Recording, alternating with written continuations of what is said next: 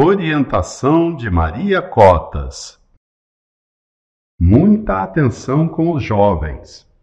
Ansiedade e depressão são distúrbios psíquicos muito observados no mundo contemporâneo, alcançando inclusive moças e moços.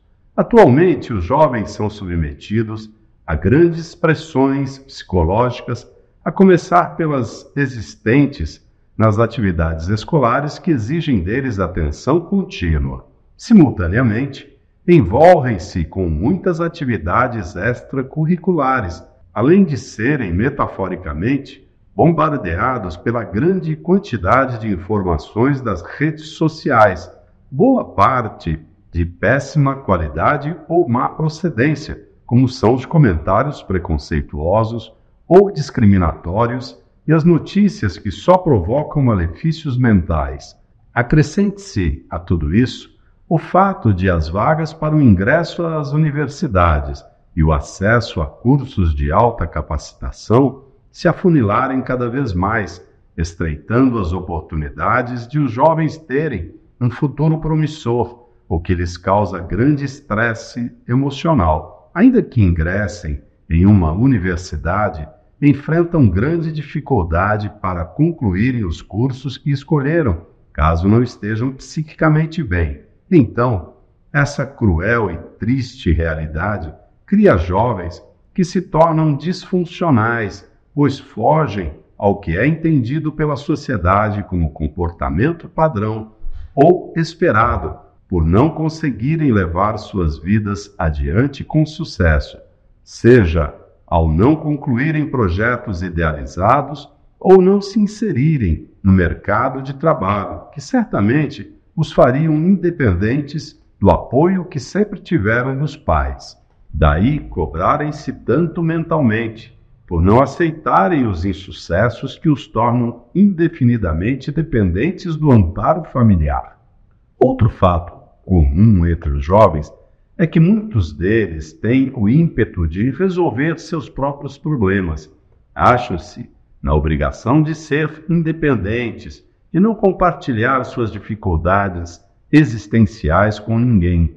Com tal procedimento, escondem suas aflições dos pais que devem estar bem vigilantes quando isso ocorre, prestando muita atenção a prováveis mudanças de comportamento, a desempenho escolar ruim, a isolamento no lar e raro convívio com amigos e amigas, a hora exageradas de sono e a outros sinais de conduta estranha que afetam o equilíbrio psíquico.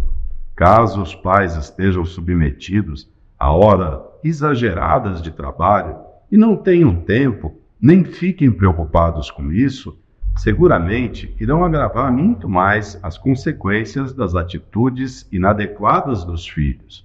Os procedimentos instáveis dos jovens que revelam ansiedade ou depressão seguem seu rumo caso não sejam percebidos ou não tenham uma rede de apoio em termos de tratamento psicológico e de assistência espiritual, como é a oferecida pelo racionalismo cristão a quem dela necessita.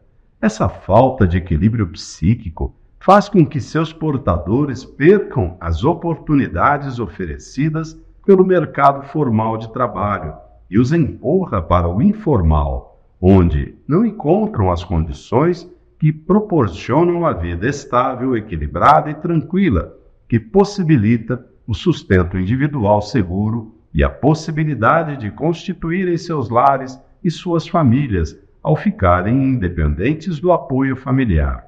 Sendo assim, é muito importante os racionalistas cristãos darem atenção aos jovens, mostrando a eles a espiritualidade contida na filosofia racionalista cristã, para que possam enfrentar e vencer as dificuldades do mundo atual com raciocínio lúcido, domínio próprio e muita vontade, pois ela é a força que move a capacidade criativa de moças e moços. Maria Cotas